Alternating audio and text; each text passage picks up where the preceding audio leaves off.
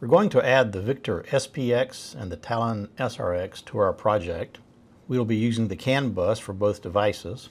I have placed on the Robotics website on the Learn Embedded C web page three links to documentations. Probably the most important for you will be the examples and the user guide. To get started, we open our project, but first we're going to then go to Manage vendor libraries, we're going to install a new library, the CTRE Phoenix. You should have already downloaded and installed this on your computer. We're going to add it to this project. After we do this, it's going to build the project. After the build completes, let's open the CPP file and H file. We're going to go to the top right here, CTRE Phoenix. That takes care of that. We're going to go down here to our devices, to our objects, create a new section for CAN. So we have our PWM devices here. We're going to put in our CAN devices right below it. We're going to take one of our Victor SPXs and let's say we're going to use it for an intake device and we will put it on ID 0. This is ID 0 of the Victor SPX group. Then we're going to add a Talon. Talon SRX. We'll use this for an elevator. And this will be ID 0 for the Talon group you can have no two devices of any of the Victors have the same ID. You can have no two devices of any of the Talon SRXs have the same ID. So it turns out that this device 0 and this device 0 is actually two different device groups. Let's go make some more variables. We already have four made right here for our Xbox controller. We'll make a couple more.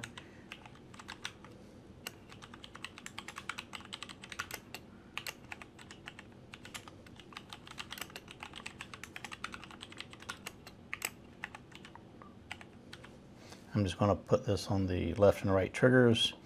Now we're going to the robot.cpp file. Let's go to where we have the getters. So we'll get under the getters for the Xbox controller. We'll get uh, a value for our left trigger. And the way we're going to do this is read the Xbox controller.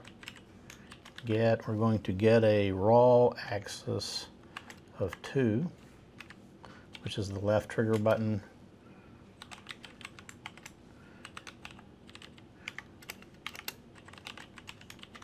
get raw axis of 3.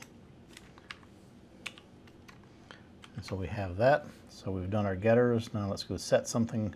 Let's set the motor for the Victor and the one for the Talon. Set, set what? See all this stuff up here? We're going to go CTRE colon colon colon Phoenix motor control control mode and we're going to use percent output.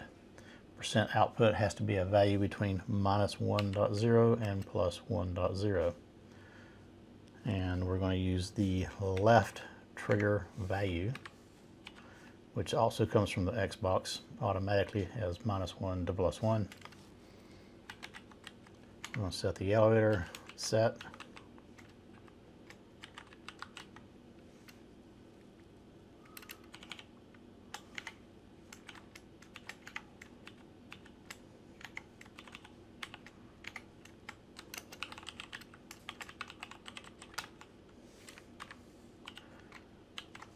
That takes care of that.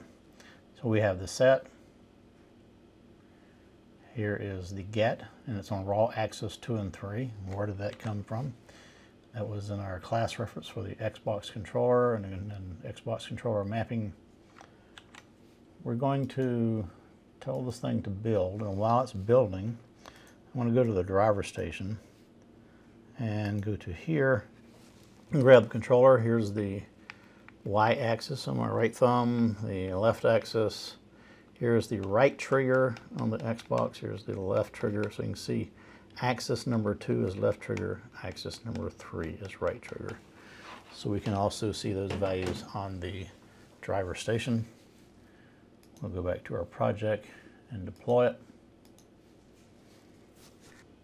The deploy is complete. You can see the program starting up over here, but you also see the Phoenix library code starting up.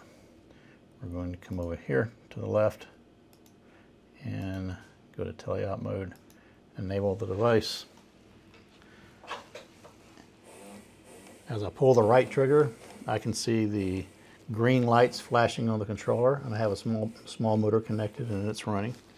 I'll pull the left trigger and I can see the green lights uh, lighting up on that one. The right and left triggers only go, the left one goes 0 to minus 1, the right one goes 0 to plus 1. We can't go in the opposite directions, but this proves that we're reading the triggers and operating the Victor and Talon. And that's how you do a simple CAN bus controller.